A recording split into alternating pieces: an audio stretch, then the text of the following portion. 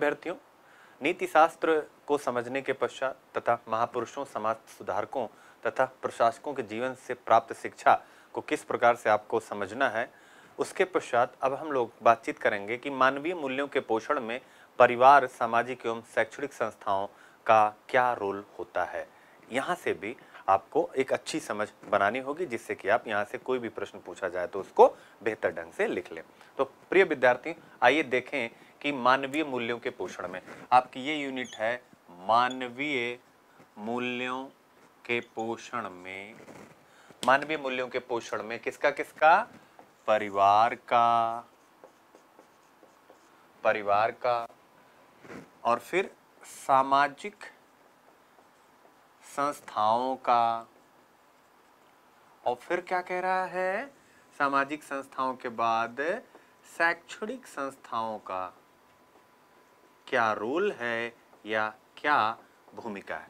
मानवीय मूल्यों के पोषण में। प्रिय अभ्यर्थियों, आप देखें कि परिवार, सामाजिक संस्थाओं और शैक्षणिक संस्थाओं की मानवीय मूल्यों के विकास में भूमिका ये आपकी यूनिट है।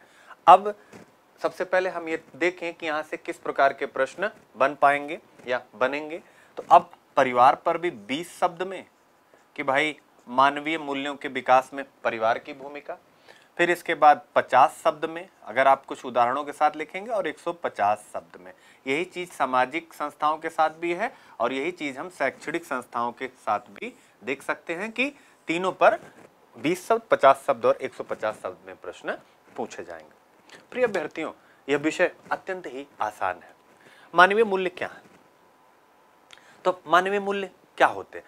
मानवीय मूल्य मनुष्य के वे गुण हैं जो उसके विचार, विश्वास, आचरण तथा व्यवहार। किसको किसको? विचार, विश्वास, आचरण तथा व्यवहार को निर्देशित एवं नियंत्रित करते हैं। और उस मानव के आत्मविश्वास एवं आत्मोन्नति में सहायक होते हैं। इन्हें हम मानवीय मूल्य कहते हैं। यानी विचार, विश्वास, आचरण तथा व्यवहार क्या क्या है? विचार, विश्वास, आचरण और फिर व्यवहार। ये हो गया आपका मेल, विचार, विश्वास, आचरण और व्यवहार।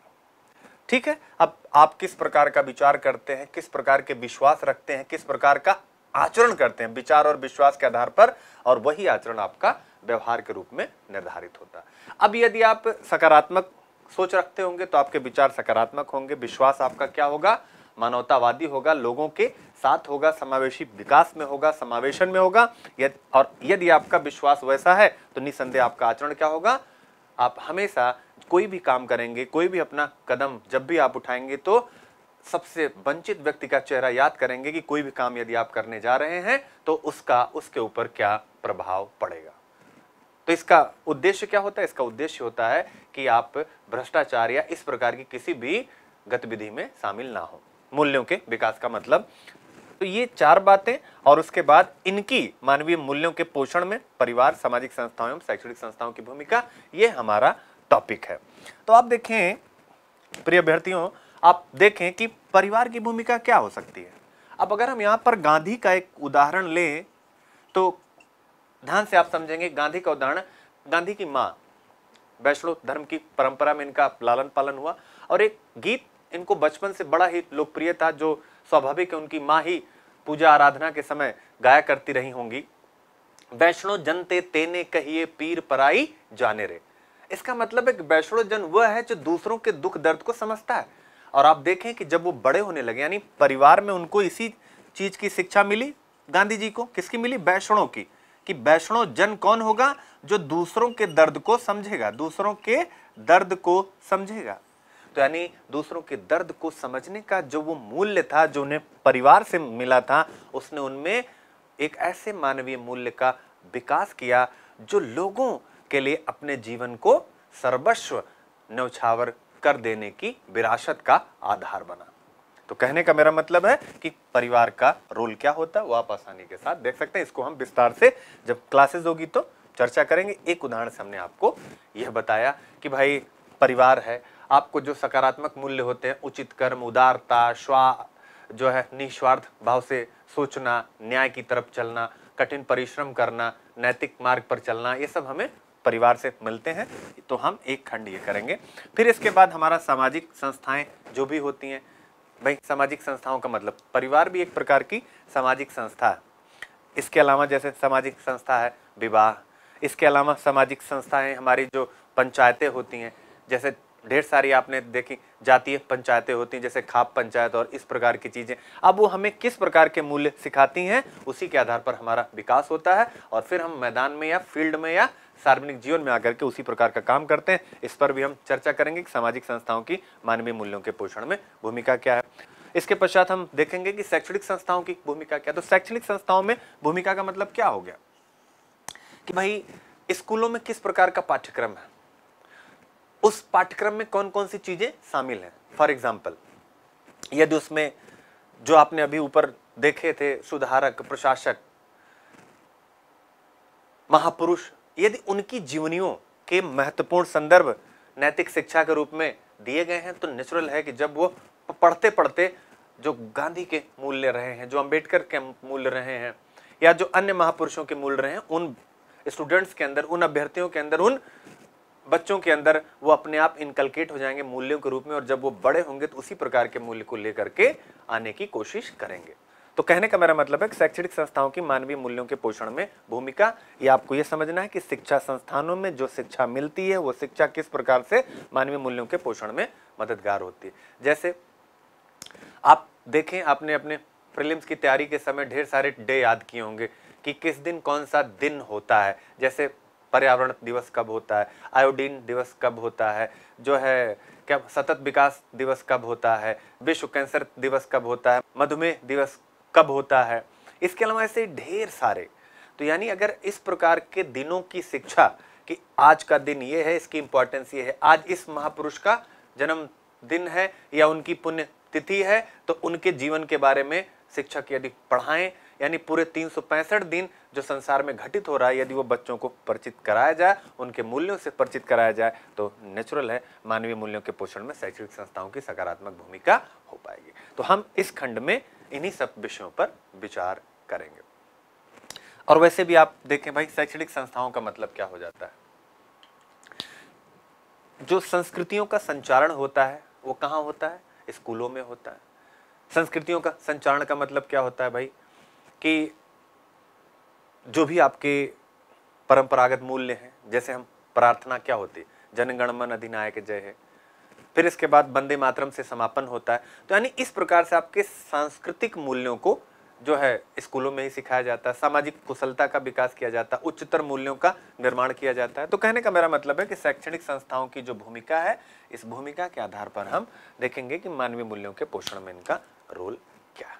प्रिय अभ्यर्थियों अब देखिए, प्रश्न कैसे बनेंगे? मैंने पहले ही बता दिया था कि जैसे 20 शब्द 50 शब्द 150 शब्द। अब सिंपल सा है, सामाजिक संस्थाओं की मानवीय मूल्यों के पोषण में भूमिका 20 शब्द 50 शब्द 150 शब्द। शैक्षणिक संस्थाओं की मानवीय मूल्यों के पोषण में 20 शब्द 50 शब्द और 150 शब्द।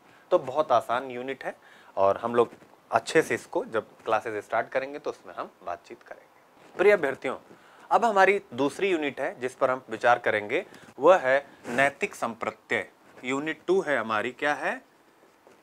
नैतिक संप्रत्यय, इसी को कहते हैं मोरल कॉन्सेप्ट क्या कहते हैं? मोरल कॉन्सेप्ट इसके अंतर्गत कौन कौन से एलिमेंट्स को राजस्थान सिविल सर्विसेज़ के सिलेबस में आपके लिए रखा गया? पहला है रित ऋण। क्या है? रित एवं ऋण।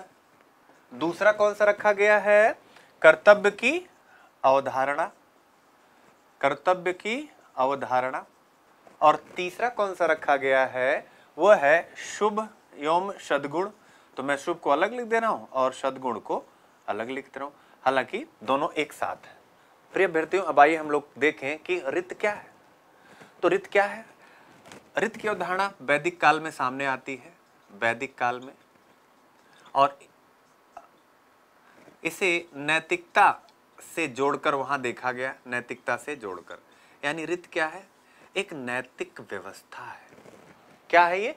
नैतिक व्यवस्था। तो अब रित पर आपसे क्या प्रश्न बनेगा कि भाई रित क्या है? तो आप बताएँगे कि रित एक नैतिक व्यवस्था है और इसका उदय वैदिक काल में हुआ और जो इनके लिए निर्धारित देवता थे, उनका नाम क्या था? वरुण। यानी वरुण देवता को वैदिक काल में कहा कहा गया? ऋतस्य गोपह क्या कहा गया? जो रित के राजा यानी कि जो नैतिकता के संरक्षक देवता है कौन है? वरुण। तो वैदिक काल में यह अवधारणा निकल करके आई कि जो सनातन प्राकृतिक व्यवस्था है, उसमें एक संतुलन बना रहे, इसी के लिए रित की अवधारणा को सामने लाया गया। यानी यह वह तत्व है जो पूरे संसार और ब्रह्मांड को धार्मिक स्थिति में रखता है या लाता है। धार्मिक स्थिति का मतलब धर्म इति धार्यते। धर्म का मतलब क्या होगा? धर्म इति धार्यते, जो धारण करने योग्य और हमेशा अच्छाई को ही धारण किया जाता है। तो अंततः रित का मतलब क्या हो गया कि जो अच्छाई है, उसको आप धारण करें। तो रित का कॉन्सेप्ट ये है। इसके बाद ऋण की अवधारणा है। ऋण का मतलब क्या होता है भाई? ऋण वह है जो किसी से मांगा या लिया जाता है। इसे हम सामान्य अर्थों में समझते हैं। परंतु यह शब्द जब मूल्यों से जुड़ जाता है, जब उसे हम मोरल कॉन्सेप्ट के रूप में पढ़ते हैं तो क्या हो जाता है? यह शब्द नैतिक दायित्वों को प्रकट करता है। नैतिक दायित्व। नैतिक दायित्व का मतलब क्या होता है? कि भाई, इस सभ्यता एवं संस्कृति के सृजन में जिनकी भूमिका रही है, एक मानव के भी सृजन में, यानी अपने पूर्वजों को आप याद करें और उनके कार्यों को आप सम्मान दें। ऋण का मतलब ये होता है कि जिन्होंने इस सभ्यता, इस संस्कृति, इस राष्ट्र की और स्वयं मानव के सृजन में अपनी भूमिका निभाई है, उनको आप सम्मान दें। और जब आप सम्मान देंगे, दूसरों को तो आपके व्यक्तित्व में एक ऐसा इंसान बन करके उभरेगा जो क्या होगा? संस्कारी होगा और दूसरों का सम्मान करता होगा। और जब वो व्यवस्था में जाएगा तो फिर क्या करेगा? वो एक गुड गवर्नेंस की स्थापना की तरफ़ सिस्टम को लेकर के जाएगा। राजस्थान पीसीएस ने रित और ऋण की अवधारणा को इसी उद्देश्य से सिलेबस में रखा। तो आपको अच्छे से पता ऋण कितने होते हैं भाई? या ऋण मैंने बता दिया क्या होते हैं? अब ऋण कितने होते हैं? नेचुरल है। ऋण क्या है भाई?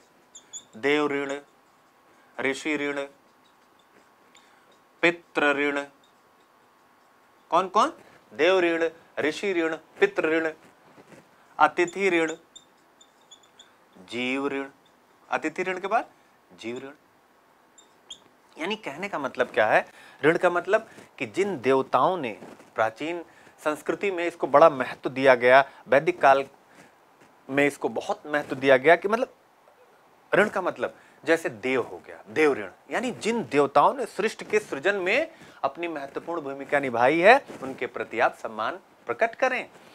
यह एक प्रकार से सामूहिकता के सिद्धांत को बढ़ावा देता है ऋषियों। जिस प्रकार ऋषियों ने हमें ढेरों वेद दिए और उन वेदों में किस प्रकार से जीवन को, किस प्रकार से समाज को, किस प्रकार से राजनीति को, किस प्रकार से अर्थ व्यवस्था को, किस प्रकार से वैश्विकता को धारण किया जाए, वह मूल्य दिए। तो आवश्यकता इस बात की थी कि उन ऋषियों के प्रति भी हम अपने सम्मान को प्रकट करें। ऋग्वेद, यजुर्वेद शाम वेदा अर्थवेदा। जिन्होंने भी इनकी रचना करी, उनके प्रति सम्मान प्रकट करना। जिन्होंने हमें सोलह संस्कार दिए, जिन्होंने न जाने हमें कितनी स्मृतियाँ एवं धर्मसूत्र दिए, उन उन सबके प्रति सम्मान प्रकट करना ऋषि ऋण है। यदि आज के समय में इन ऋषियों को देखें तो जो हमारे वैज्ञानिक हैं, जो हमारे लिए अनेकों नवीन चीज़ों का आविष्कार करते हैं, उनके प्रति इसी प्रकार का कहीं ना कहीं हमें सम्मान प्रकट करना चाहिए। वही इसके अंतर्गत भाव छुपा हुआ है। जैसे इसरो इसरो ढेर सारे नित्य नए आविष्कार कर रहा है। तो आवश्यकता इस बात की कि हम इसरो के महत्व को समझें और उन्हें सम्मान प्रकट करें। इसी प्रकार से जो लोग भी नवाचार और वैज्ञानिकता के नए नए आविष्कारों से जुड़े हैं, उन्हें हमें सम्मान प्रकट करना चाहिए। क्यों? क्योंकि वो कहीं ना कहीं हमारी प्रकृति को आगे ले जाने के लिए अपना बहुत कुछ न्यौछावर कर रहे हैं, जिसके कारण से हम सभी को लाभ प्राप्त हो रहा है। फिर इसके बाद पितृ ऋण, यानी हमारे पूर्वज, हमारे पिता, हमारे दादा परदादा इन लोगों ने जो कुछ भी हमारे लिए किया हम उनके प्रति भी अपने सम्मान को प्रकट करें। इसका मतलब क्या होता है कि कहीं ना कहीं यदि आप इस प्रकार का भाव रखते हैं तो जो पीढ़ियों की परंपरा है, उसको आप बेहतर ढंग से आगे लेकर के जाएँगे। इसी प्रकार से अतिथि ऋण, अतिथि देवो भव इसका मतलब क्या होता है कि अतिथियों का सम्मान करना चाहिए। अतिथियों का सम्मान करने का मतलब क्या हो गया कि मान लीजिए आपके ऑफ़िस में कोई आता है, आप, आपके समक्ष आकर के वो प्रतिवेदन करता है कि मुझे ये काम कराना है या ऐसे कराना है तो आप उसको एक अतिथि माने और उसके साथ अत्यंत सम्मान का भाव करें, जिससे कि वो आपके कार्यालय से जब बाहर निकले तो वो महसूस करे कि हाँ मैं किसी शिष्ट, किसी संस्कारी व्यक्ति से मिल करके आ रहा हूँ और प्रशासन के प्रति उसका एक जुड़ाव स्थापित हो जाए। इसी को हम कह सकते हैं कि सिविल सोसाइटी यानी नागरिक समाज और आप यानी प्रशासन के बीच में एक अच्छे संबंध का बनना। जीव ऋण का मतलब क्या होता है? कि भाई मानव के इर्द गिर्द ढेर सारे जीव जगत के प्राणी रहते हैं। तो कहने का मतलब जो मानव के साथ इस पूरे वातावरण को साझा कर रहे हैं, उन सबके प्रति भी हम कृतज्ञता ज्ञापित करते हैं क्योंकि हम एक दूसरे के ऊपर परस्पर निर्भर हैं। ये क्या है? ये जीव ऋण जो विविधता के संरक्षण की अवधारणा को आप सबके समक्ष लेकर के आ रहा है। तो जीव ऋण का मतलब ये है कि हम भाई पारिस्थितिकी पर्यावरण का संरक्षण करेंगे, क्योंकि मानव का अस्तित्व इन्हीं के साथ लगा हुआ है। अब ये क्या हो गया? ये एक प्रकार की पर्यावरणीय नैतिकता की बातचीत चल रही किस चीज़ की? पर्यावरणीय नैतिकता एनवायरमेंटल एथिक्स तो नैतिक प्रत्यय में ऋण का मतलब उम्मीद करता हूँ कि आप सब लोग समझ गए होंगे। अब आप विचार करें एवं ऋण पर अगर इकट्ठा क्वेश्चन आता है तो आप नेचुरल है, वो 20 शब्द में आए 50 शब्द में आए 150 में आपको चिंता करने की ज़रूरत नहीं है। यदि मान लीजिए अंतर भी पूछता है तो ऋत एवं ऋण के मध्य आप आसानी के साथ अंतर भी लिख सकते तो जो मैं कहना चाह रहा हूँ, वो कहना यही चाह रहा हूँ कि ये सब विषय अत्यंत ही आसान है। आप बस विश्वास रखें, सबसे पहले सिलेबस को बहुत अच्छे से समझे, इसके बाद यूनिट दर यूनिट हम लोग लेक्चर के माध्यम से प्रश्न उत्तर की श्रृंखला में सब कुछ पढ़ते चले जाएँगे। आइए, प्रिय अभ्यर्थियों, अब देखें, कर्तव्य की अवधारणा का मतलब क्या है? कर्तव्य की अवधारणा। अब देखिए, कर्तव्य शब्द का अभिप्राय। सबसे पहले आप ये देखें कि कर्तव्य शब्द का अभिप्राय क्या है? कर्तव्य की अवधारणा या उसके पहले हमें कर्तव्य शब्द देखना है। कर्तव्य का मतलब कर्तव्य शब्द का अभिप्राय उन कार्यों से होता है जिन्हें करने के लिए व्यक्ति नैतिक रूप से प्रतिबद्ध है। यानी क्या हो रहा है यहाँ पे? नैतिक प्रतिबद्धता की बात हो रही है। नैतिक प्रतिबद्धता। अब इसका मतलब क्या हो गया भाई? नैतिक प्रतिबद्धता का मतलब कि यदि आप शिक्षा शास्त्री हैं, यानी आप शिक्षा दे रहे हैं, जैसे हम लोग हुए, या आप अगर कहीं अध्यापक हैं या इसी प्रकार का कार्य कर रहे हैं, यदि आप समाज शास्त्री हैं यदि आप अर्थशास्त्री हैं, यदि आप पर्यावरणविद हैं, या ईटीसी e ढेर सारी चीज़ें। यानी आप किसी भी विभाग में हैं, प्रशासक वाला तो आप लोग पढ़ ही रहे हैं तो वो मैंने ईटीसी e में ही आप समझ लीजिए, प्रशासक या अन्य कोई सेवा। तो यानी आपको जो भी कार्य मिलता है, उसके प्रति आपकी नैतिक प्रतिबद्धता यही है, कर्तव्य की अवधारणा। कर्तव्य की अवधारणा। अब इसके कई आधार हैं। इसको हम जो है मोरल फिलोसफर्स के अवधारणा से भी पढ़ेंगे। जैसे इमैनुअल कांट साहब का सिद्धांत है, कर्तव्य के लिए कर्तव्य का सिद्धांत, हम उसको भी पढ़ेंगे। और इसके अलावा गीता में कर्तव्य के बारे में क्या कहा गया या वेदों में कर्तव्य के बारे में क्या कहा गया, हम उसको भी पढ़ेंगे। और फिर इस कर्तव्य को पढ़ करके हम लोग क्या पढ़ेंगे कि अधिकार एवं कर्तव्य में क्या संबंध है? भाई, आपके पास राइट है तो आपके कुछ कर्तव्य में है। और इसको और अच्छे से समझने के लिए अधिकारियों, कर्तव्य को आप, संविधान को आप देखें, संविधान में क्या है? जहाँ आपके मूल अधिकार हैं, वहीं आपके मूल कर्तव्यों को भी सम्मिलित किया गया है। तो यानी अधिकार एवं कर्तव्य परस्पर एक दूसरे के साथ लगे हुए हैं। और ये किस लिए है? नैतिक प्रतिबद्धता को सुनिश्चित कि भाई, संविधान ने आपको आधार दिया हुआ है मूल अधिकार के रूप में कि यदि राज्य के किसी भी कार्य से आपके मूल अधिकारों का क्षरण होता है या नुकसान होता है या किसी प्रकार से उनमें कमी आती है तो आप संवैधानिक उपचारों, अनुच्छेद 32 के तहत संविधान द्वारा निर्धारित व्यवस्था के तहत उच्चतम न्यायालय, उच्च न्यायालय में जा करके क्या कर सकते हैं? उपाय, समाधान प्राप्त कर सकते हैं। तो इसका मतलब क्या है कि यदि आपके यह अधिकार सुनिश्चित किए गए हैं तो आपका भी दायित्व तो बनता है। क्या दायित्व तो बनता है? कर्तव्य। कि आपके यदि अधिकार हैं तो आपके कर्तव्य इस प्रकार से होने चाहिए कि जिससे कि आप नैतिक रूप से प्रतिबद्ध होकर के अपने दायित्वों का निर्वहन करें। इसीलिए संविधान में अनुच्छेद इक्यावन में मौलिक कर्तव्यों की व्यवस्था की गई है। और इसीलिए संविधान में मौलिक कर्तव्यों की भी व्यवस्था की गई है। तो ये चीज़ आप समझ सकते हैं। अब यहाँ से आप देखें, प्रश्न कैसे बनेगा? विचार करें। तो सिंपल सी बात है 20 शब्दों में अगर बनाना होगा 20 वर्ड्स में तो कर्तव्य की अवधारणा क्या है? अगर इससे ऊपर बनाना होगा 50 या 150 में तो लिख देगा कि कर्तव्य की अवधारणा से आप क्या समझते हैं?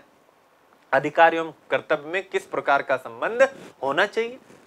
सोदाहरण स्पष्ट करिए तो 150 शब्द का हो जाएगा, जो हम जब क्लास चलेगी तो प्रैक्टिस करेंगे करेंगे, जो चीज़ें मैं बार बार कह रहा हूँ।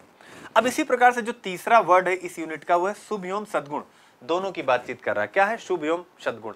अब सबसे पहले तो ये समझे भाई शुभ एवं सदगुण का सिलेबस में रखने का प्रयोजन क्या है? ये दोनों मानवीय आचरण, एवं चरित्र के मूल्यांकन, एवं मूल्यांकन मानवीय आचरण एवं चरित्र के मूल्यांकन की दृष्टि से अत्यंत महत्वपूर्ण अवधारणाएँ हैं। क्या है? मानवीय आचरण एवं चरित्र के मूल्यांकन की दृष्टि से अत्यंत महत्वपूर्ण अवधारणाएँ सिंपल सी बात है, शुभ का मतलब क्या होता है? गुड। गुड का मतलब क्या होता है? अच्छा। यानी जो अच्छा हो, वही कार्य करना। अब अच्छा कार्य कैसे करेंगे? तो नेचुरल अच्छा कार्य आप तभी कर पाएँगे जब आपके मूल्य मज़बूत होंगे। अच्छा कार्य कैसे कर पाएँगे जब आपके मूल्य मज़बूत होंगे? मूल्य मज़बूत होने का मतलब क्या हो गया? जब आप सदगुणी होंगे, जब आप साधन एवं साध्य के मध्य समन्वय रखेंगे, जब आप अपने हितों के साथ दूसरों के हितों को भी महत्व देंगे, तब जाकर के आपके अंदर शुभ गुणों का विकास होगा। आपके कार्यों का परिणाम भी शुभ होगा। तो शुभ का मतलब सिंपल सा ये है। सदगुण क्या है? सदगुण का मतलब होता है सद धन गुण, यानी ऐसे गुण जो सतत अभ्यास से प्राप्त किए जा सके। सद धन गुण।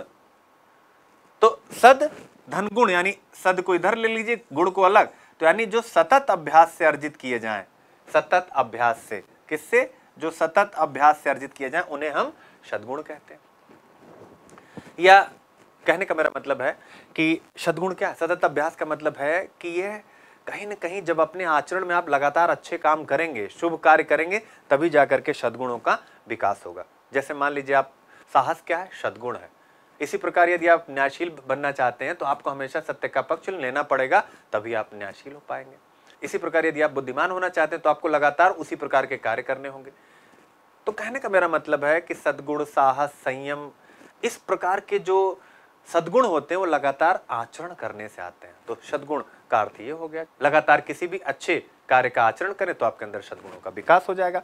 तो कहने का मेरा मतलब है कि अब शुभ एवं सदगुण, अब दोनों को एक साथ पूछे या अलग अलग करके पूछे या दोनों के मध्य अंतर करके पूछे, चाहे 20 शब्द में पूछे, चाहे 50 में, चाहे 150 में, हम आसानी के साथ इसको लिख पाएँगे। तो हमें यही समझना है कि यह जो यूनिट है, अत्यंत ही सहज, सरल एवं आसान है और हम उम्मीद कर सकते हैं कि हम बहुत आसानी के साथ इसको सीख पाएँगे जो हमारी क्लासेस वाले वीडियो